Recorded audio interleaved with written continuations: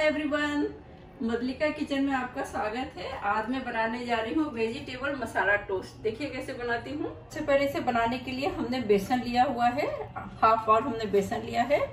इसमें हम डालेंगे स्पिनिच, पालक थोड़ी सी पालक है। इसमें आप जो भी वेजिटेबल आपको पसंद है वो आप डाल सकते हैं। पहले इसमें हमने डाली स्पिनिच।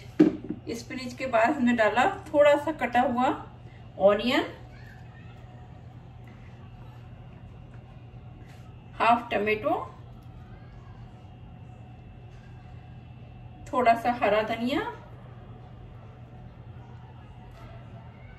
मिर्ची, अदरक का पेस्ट,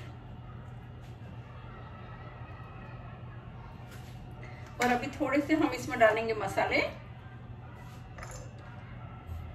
लिटिल सॉल्ट, लाल मिर्ची पाउडर सूखा धनिया का पाउडर, लिटिल हल्दी, और अभी साथ में हम डालेंगे थोड़ा सा chaat masala. Dry mango powder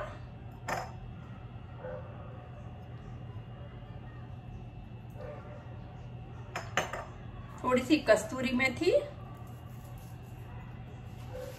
अब इन सब का हम पानी डाल के थोड़ा घोल बना लेंगे। मिक्स कर देंगे पहले मसाले को अच्छे से हम।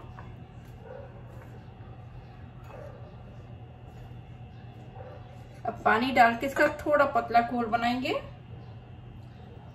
बहुत ज़्यादा पतला नहीं करना है, गाढ़ा घोल बनाना है हमको।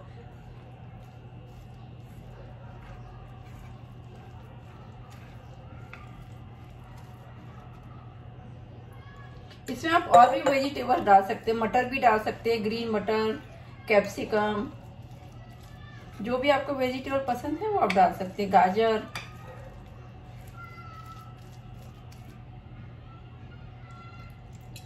थोड़ा थोड़ा पानी डाल के हम घोल बनाएँगे इसका।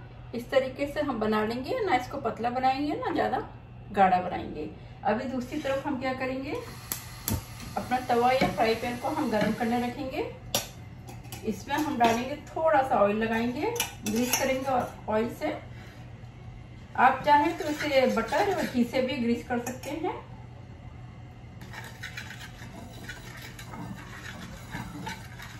हल्का हल्का सा ग्रीस करना है जिससे कि हमारी ब्रेड इस पे स्टिक ना हो।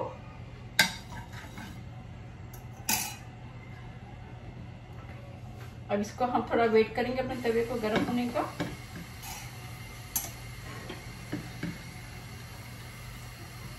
अभी तवा हमारा हल्का सा गर्म हो गया है। तो इसमें हमने चार ब्रेड ली है। मैंने तीन ही ब्रेड का यूज़ किया आप जितने चाहे उतने ब्रेड का बना सकते हैं। जिस क्वांटिटी में आपको चाहिए। अभी ब्रेड को हम जो हमने खीरा बनाया, उसमें डिप कर देंगे अच्छे से।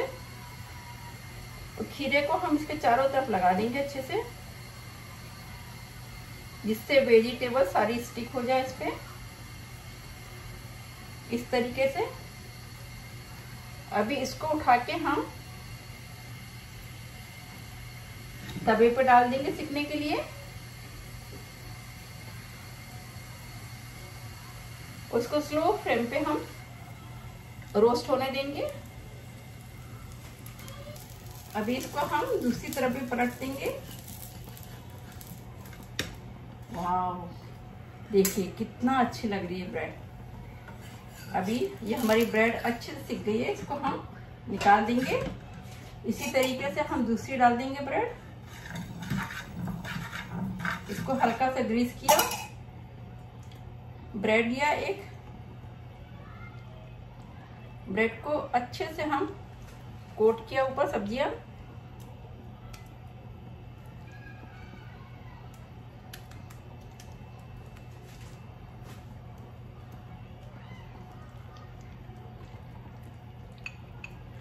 इसी तरह से इसी तरह से हमने दूसरी ब्रेड को भी डाल दिया है।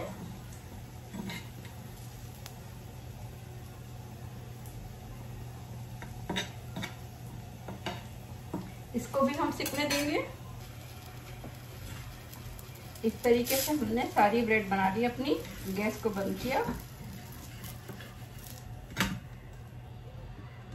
ये रेडी हो गया हमारा वेजिटेबल मसाला। ब्रेड टोस्ट, या इसको रुचुलू भी बोलते हैं। इसको अभी हम चाहे तो इसको दो पीस में हम वैसे कट कर देंगे।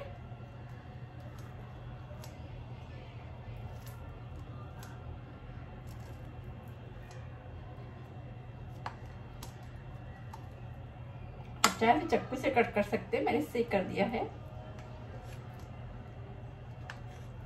ये देखिए, इस तरीके से इसे कितना अच्छा लग रहा है। देखिए, खाने में बहुत ही टेस्टी लगते हैं। इसको अभी ऐसे हम कट करके सर्विंग प्लेट में लगा देंगे। हमारे बन गए मसाला वेजिटेबल्स ब्रेड टोस्ट ये रेडी हो गया हमारा वेजिटेबल मसाला टोस्ट ये खाने में बहुत ही टेस्टी लगता है। बहुत सिंपल रेसिपी है। आप ज़रूर ट्राई कीजिए। अगर आपको मेरी रेसिपी पसंद आए तो प्लीज़ लाइक कीजिए शेयर कीजिए सब्सक्राइब कीजिए। Thank you